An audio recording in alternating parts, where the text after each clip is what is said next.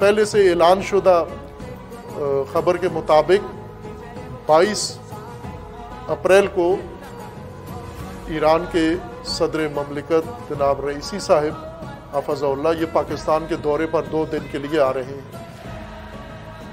और ज़ाहिर है कि इस मौके पर जब इसराइल को कारी ज़रब लगा के तमाम मुसलमिन के दिलों को खुश करके और इस दुश्मन सहूनी को जिल्लत का मज़ा चखा कर सदर ममलिकत उस मुल्क के, मुजाहिद मुल्क के, मुबारज मुल्क के और मुबारज कौम के सदर पाकिस्तान आ रहे हैं। तो पाकिस्तानियों के दिल खुशहाल थे, पहले से थे, मज़ीद खुशहाल हुए हैं। इन ये सफ़र उनका खैर आफियत के साथ अंजाम पाए और इस सफ़र के लिए पाकिस्तानी हुकूमत दे, मौका दे, पाकिस्तान के आवाम को अपने कलबी एहसास उन लोगों के लिए ज़ाहिर करने का जिन्होंने दुनिया इस्लाम को इतनी खुशी अता की है, जिन्होंने दुनिया इस्लाम के दिलों को खुश कर दिया है, मुसलमानों को मौका दें पाकिस्तान के मुसलमानों को, शिया सुन्नी सबको फ़िरक़ों से बालातर होकर कि वो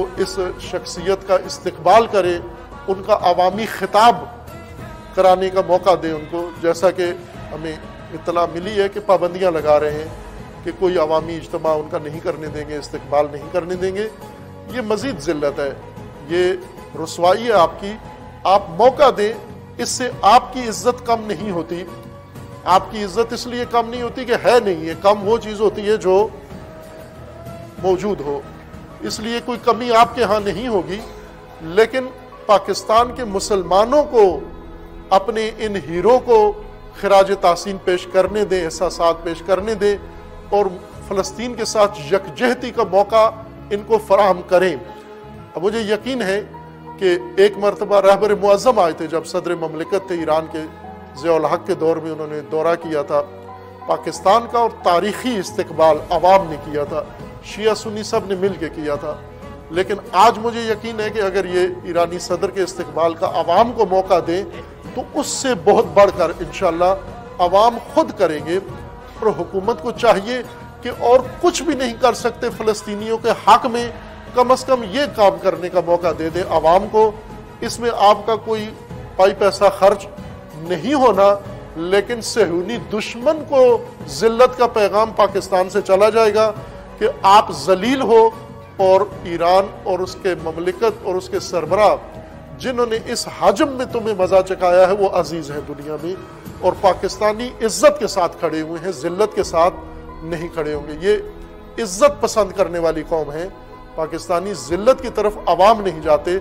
हमारे हुक्मरानों का और हमारी मजहबी क़्यादत की कोई जमानत नहीं है। वो इकतदार की लालच में हर जिल्लत कबूल कर सकते हैं। लेकिन पाकिस्तान के अवाम इज़्ज़त की खातिर अपनी जान भी दे सकते हैं। चूँकि इकतदार परस्तों का इमाम बनु अमैया है, यजीद है, मुआविया है। इकतदार परस्तों का इमाम मालूम है कौन है? मुआविया व यजीद है। लेकिन हक परस्तों का इमाम एक ही और वो हुसैन है, हुसैन इबन अली है। और पाकिस्तानी सब हुसैन इबन अली के पैरोकार हैं।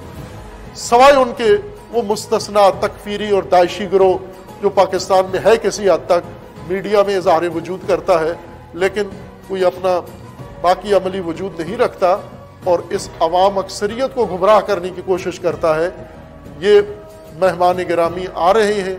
हम इन्हें कबल अज वक्त खैर मकदम अर्ज़ करते हैं और पाकिस्तानी हुकूमत से दरख्वास्त करते हैं कि वो मौका दें अवामी इस्तकबाल का और आवाम से भी दरख्वास्त करते हैं कि आप भी हुकूमत से ये तकाजा करें और ख़ुद भी आप आ, अगर हुकूमत रुकावट नहीं बनती बदमजगी पैदा नहीं करती तो आवाम सारे आमादा करें अपने आप को इस अज़ीज़ मेहमान को, ये अगर इसराइल पर हमला किए बगैर अगर पाकिस्तान का दौरा करते तो हमें कोई ज़रूरत नहीं थी इनके इस्तकबाल की। चूँकि एक मुल्क का सदर दूसरे मुल्क में आया है तो सियासी तौर पर, सफारती तौर पर उनके साथ बातचीत होती।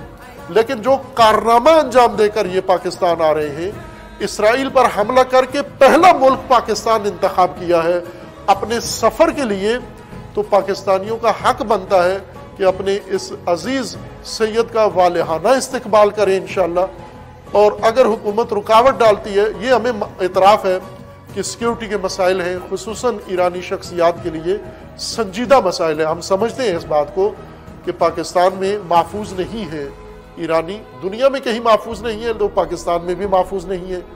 इसलिए सिक्योरिटी के हवाले से जो तहफ़ात हैं, वो अपनी जगह पर हैं, लेकिन हुकूमत चाहे तो अपने मेहमान को हिफाजती बंदोबस्त करके सिक्योरिटी भी फराम कर सकती है और उन्हें आवाम के इस्तकबाल के ज़रिए से इज़्ज़त भी दे सकती है और इससे पाकिस्तान का वकार बड़ा होगा, पाकिस्तान का कद बड़ा होगा इन और फ़लस्तीन के हक में जो कोताही अभी तक पाकिस्तान में हुई है, उस सब की तलाफ़ी हो जाएगी इन इसलिए अवाम भी अपने आप को आमादा रखें सब इन अगर हुकूमत रुकावट नहीं बनती, माने नहीं बनते सिक्योरिटी मसाइल पैदा नहीं होते तो इन अपने इस अज़ीज़ मेहमान का तारीखी इस्तकबाल करना है और इससे अमरीका और सहयोगियों को पैगाम देना है कि फ़लस्तीन के हक में आवाज़ उठने वाली वो सिर्फ़ ईरान की सरजमीन के अंदर मुनहसर नहीं है, बल्कि वो सरासर दुनिया में फ़लस्तीन के हामी और तरफदार मौजूद हैं।